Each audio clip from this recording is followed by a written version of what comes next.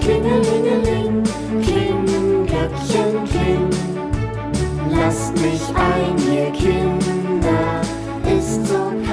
Ist das nicht schön? Ich habe die große Ehre, hier das letzte Adventskalendertürchen in unserem Rotz und Wasser Adventskalender 2020 zu gestalten.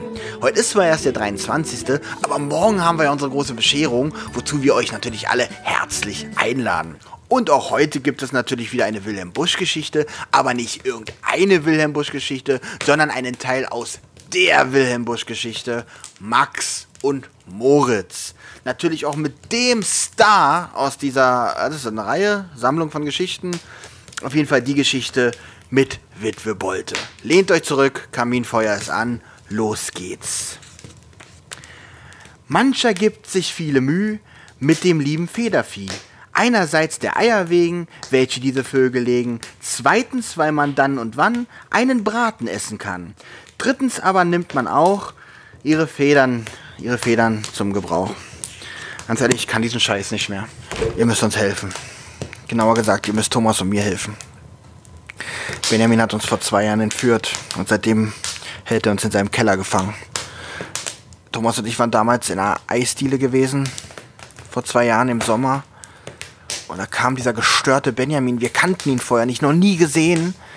Und er ist ja recht groß und sportlich, packt uns mit seinen Pranken, steckt uns in einen Korb und hat uns hier irgendwo ins Nirgendwo verschleppt, wo wir jetzt in seinem Keller hausen.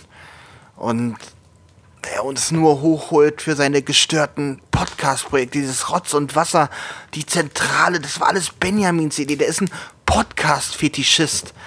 Und er sagt, wir wären perfekt für ihn. Und, und wie ihr sicherlich schon gemerkt habt, Thomas ist ja gar nicht so der drei Fragezeichen Auskenner. Das ist alles auf Benjamins Mist gewachsen. Er ist der Brain hinter diesem künstlichen Podcast-Konstrukt. Und jedes Mal, wenn wir nicht tun, was er sagt, dann gibt's was mit dem Schürhaken. Er immer mit seinen Schürhaken. Dieser Mann ist besessen von Schürhaken. Und, und das ist ja noch nicht alles. Äh, immer, ähm, immer wenn ich mit ihm Podcast alleine aufgenommen habe, dann das, das, war ihm immer sehr wichtig, stand der total drauf. Ich habe, äh, ich musste immer, während ich spreche, ich musste immer mit meiner Zunge sein, sein Ohrläppchen massieren. Und wir, und, dabei musste ich sprechen. Man durfte nicht hören, dass ich, während ich spreche, mit meiner Zunge sein Ohrläppchen massiere. Sonst sofort Schürhaken. Ein Versprecher, ein sofort Schürhaken. Der Mann ist gestört, der steht auf Schürhaken. Und, und was er mit Thomas macht, ist wahrscheinlich noch viel schlimmer. Thomas redet nicht mehr seit, also zumindest im Keller, seit, seit zwei Wochen redet er nicht mehr. Immer wenn er vom, von der Podcastaufnahme alleine, die er mit Benjamin macht, runterkommt, wir haben ja einen kleinen Wasserkocher unten, ist ja unsere einzige Nahrungsquelle. Muss ich euch übrigens auch erzählen. Äh, Benjamin zwingt uns, das frisch gekochte Wasser ex aus dem Wasserkocher zu trinken. Er meint, das tut unseren Stimmbändern gut. Was soll ich sagen? Das funktioniert. Na egal. Auf jeden Fall hält er dann seine Genitalien in den kochenden Wasserkocher, verzieht aber keine Miene und blickt mir nur ganz tief in die Augen. Und so verharrt er manchmal tagelang. Ich weiß nicht, was da Grausames passiert. Auf jeden Fall muss jetzt Schluss sein damit. Lange hält Thomas das auch nicht mehr aus. Benjamin ist jetzt gerade in die Stadt gefahren, um sich seinen Adamsapfel aufspritzen zu lassen. Ähm, und ihr müsst uns hier rausholen. Die Adresse ist Oh, Benjamin, ich, nee, ich mache hier gar nichts. Ich. Ah!